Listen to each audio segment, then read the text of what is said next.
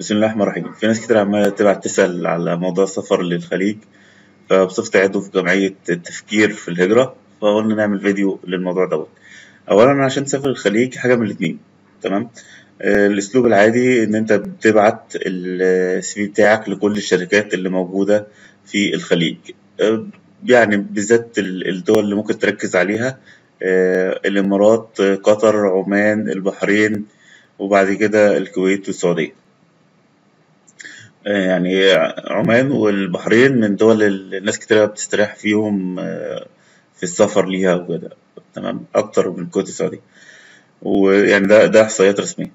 طيب آه، بتقعد تبعت سيفيهات ما بتيأسي كل يوم تبعت مثلا خمس ست آه، تلاف رسالة إيميلات أنت ما بتدفعش حاجة. يعني مش تدفع فلوس مجرد تقعد تبعت رسائل للناس. ومفيش حاجة اسمها بعت كتير. لا أنا قبل كده بعت يعني أول سنة اشتغلت كنت عمال ابعت سيفيهات ولقيت ناس بتتصل بيا مثلا بعد تسع شهور. فأنت لما تبعت كميه كبيره تمام؟ أكيد في شركة من الشركات هتتصل بيك وهت وهتقول لك مثلا تعالى طب تعالى أعمل معانا انترفيو طيب كام وكده. يعني هيبدأ يدخل معاك في التفاصيل.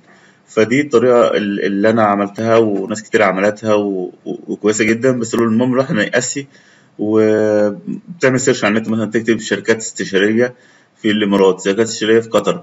وتشترك في بعض المواقع وممكن تعمل search مثلا في LinkedIn في موقع توظيف تقعد تحط ال CV بتاعك يعني اسعى وربنا يكتب لك الخير إن شاء الله.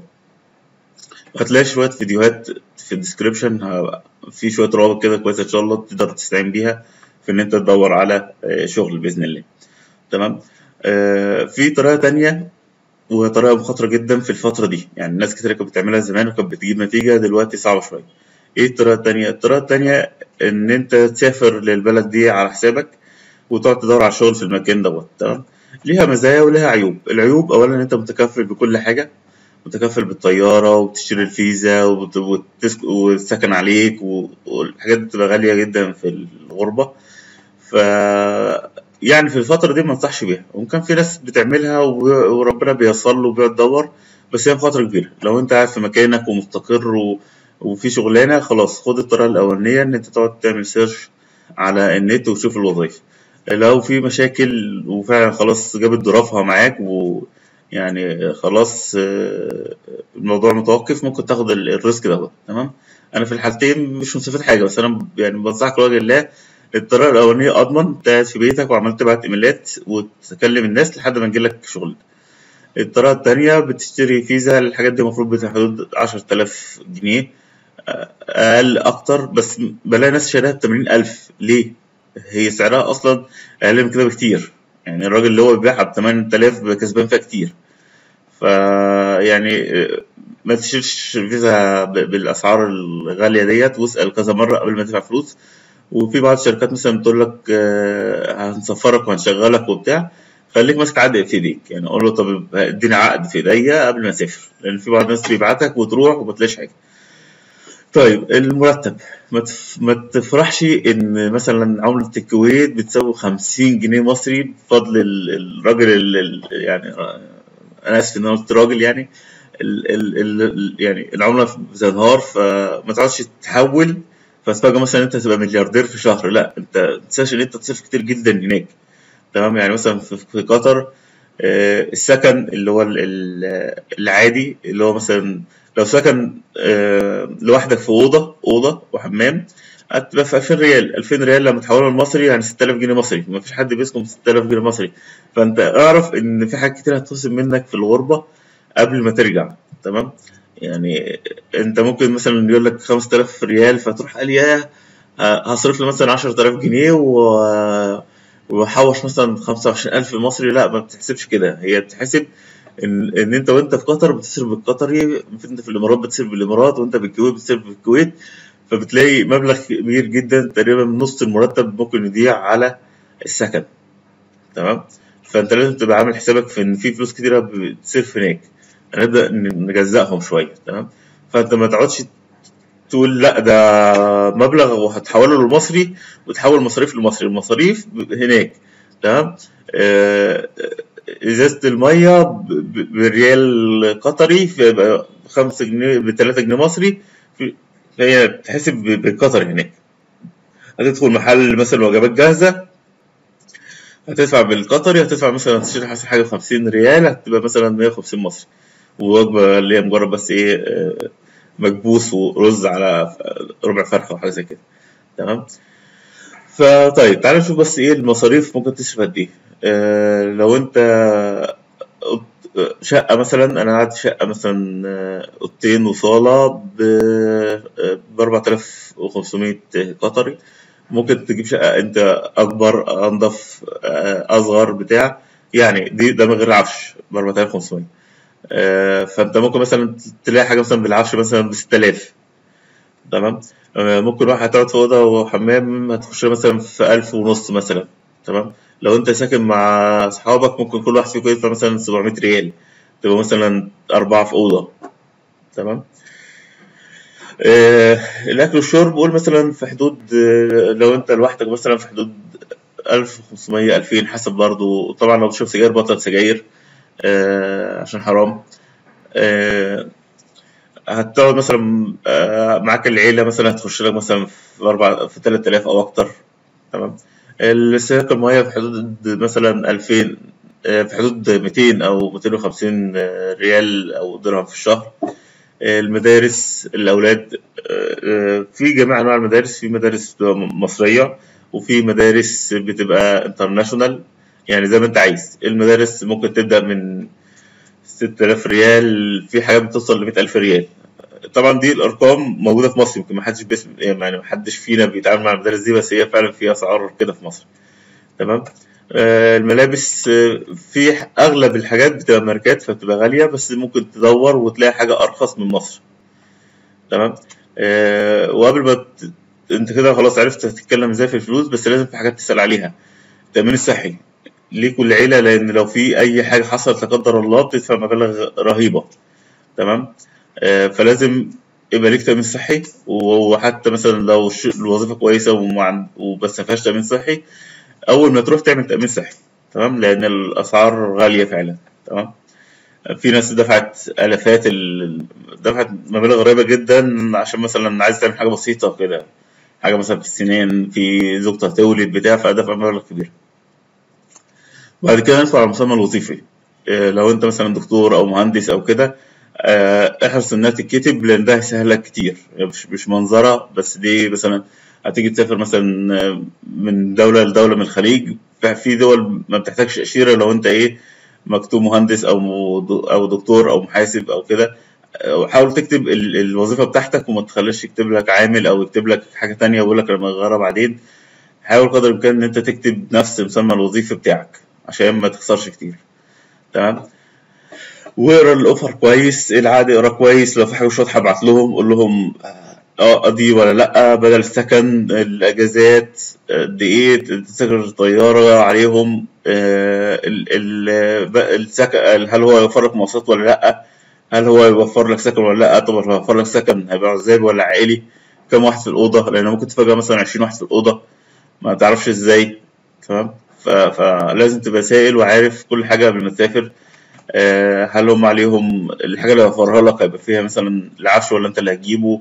المية والكهرباء والحاجات ديت؟ لو هم يوفروك السكن هيبقى إيه النظام؟ طب بدل السكن طب بدل المرتبات هما غالبا بيقول لك مثلا المرتب الأساسي 60 والبدلات 40 بدل السكن وبدل المواصلات وبدل ما تشحت الحاجات دي كلها. فلازم تبقى عارف قد إيه بالظبط. تمام؟ التفاصيل كلها تبقى عارفها بالظبط. هو بيحاول يعمل كده بحيث مثلا لو أنت هتمشي بيحاسبك على ال- الأساسي مش بيحاسبك على ال total فتبقى عارف ممكن يكون الرقم اللي هو قايله لك ده مثلا قال لك مثلا 10000 وده أقل حاجة لو واحد متزوج يقدر يجيب بيه زوجته اللي هو 10000 ريال في قطر. أغلب اللي بقول على قطر بس هو بينطبق على دول الخليج كلها يعني. آه، ففي قطر في قانون كده 10000 ريال. فلو أنت أقل من كده مش هتعرف تجيب زوجتك. لازم تكون بتحط في البنك كل شهر 10000 ريال.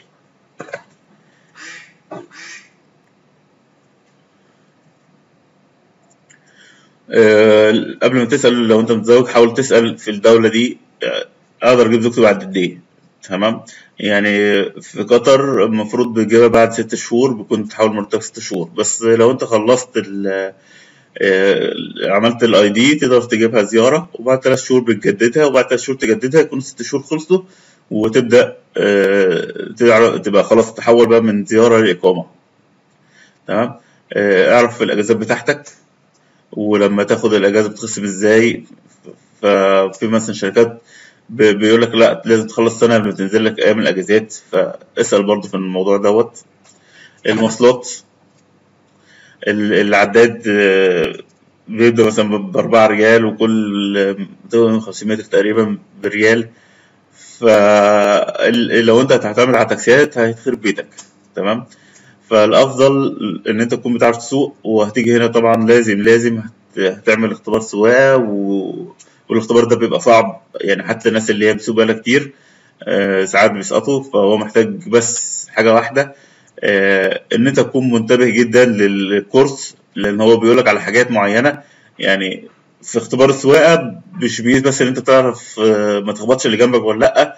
لأ بيشوف تركيزك بيشوف إن أنت بتبص على المرايات ولا لأ بيشوف إن أنت يعني بتتصرف إزاي. بيبقى مركز على حاجات بسيطة ممكن أنت ما تكونش واخد بالك منها تمام؟ يعني أهم حاجة الحزام لو ما ربطتش الحزام خلاص مع السلامة. آه لو ما بصيتش على المرايات وعدلتها أول ما قعدت برضه مع السلامة.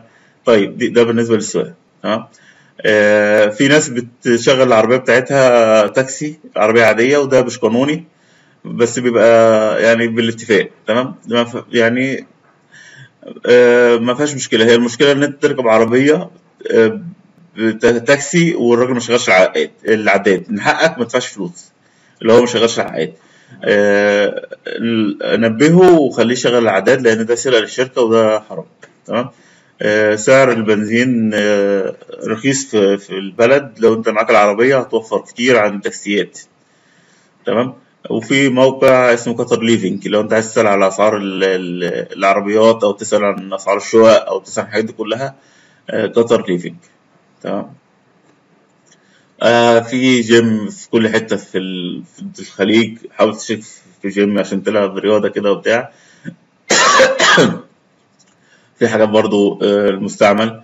بالنسبة للمرور والمخالفات في الخليج الموضوع صعب جدا ويا ريت يبقى صعب عندنا في مصر بس يبقى يظبطوا المرتبات الأول بعد كده يخلوه بنفس الصعوبة دي. مش يزودوا يزودوا الغرامات وما يزودوش حاجات. آه، كسر أي إشارة مثلا في حدود من 6000 ريال ل 50000 ريال. يعني ممكن تدفع مرتبك في السنة كله عشان أنت كسرت إشارة. تمام؟ خمس... والعادي 6000 ريال. لو أنت عملت أضرار بتبقى 50000 آه، طبعا في حاجة اسمها نظام نقاط. أنت ليك 12 نقطة. لو عملت مخالفات كل مرة تخصم منك نقطتين ثلاثة تلاقي نفسك ممنوع من السواقة بعد كده. حتى لو أنت ملياردير ممكن تلاقي نفسك مش محتاج تسوق تمام؟ المخالفات الرادار الحاجات دي كلها غالية جدا. فلو انت ماشي محترم هتلاقي البلد جدا بتحترمك لو انت كسرت إشارات أو عملت حاجات غلط هتلاقي نفسك بيتخصم منك حاجات قريبة جدا. ممكن تلاقي نفسك دفعت مرتبك كله مثلا في, في كسر اشارتين مثلا أو عملت حاجة غلط أو خبطت في حاجة. فأنت خليك يعني مركز وجدا ان أنت بتسوق. تمام؟ آه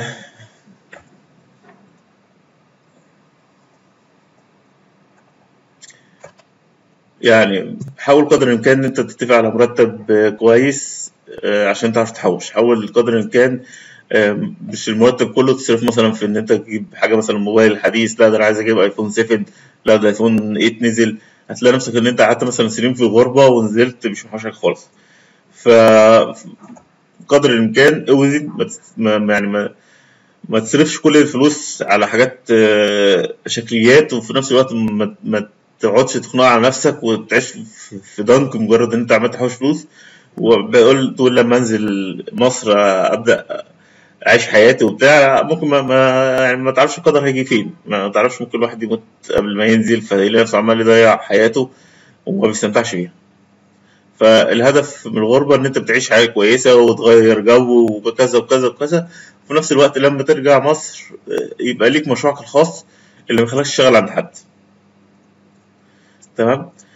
آه، حاول يعني تبقى في توازن بين الحياة الدينية الحياة الروحانية ال- العائلية ال- الشغل ال- ال- ال- إن أنت تتم- تتمتع بحياتك كل الحاجات دي إن شاء الله. أتمنى إن شاء الله ان يكون الموضوع مفيد ويكون اجابه على الأسئلة كلها بإذن الله.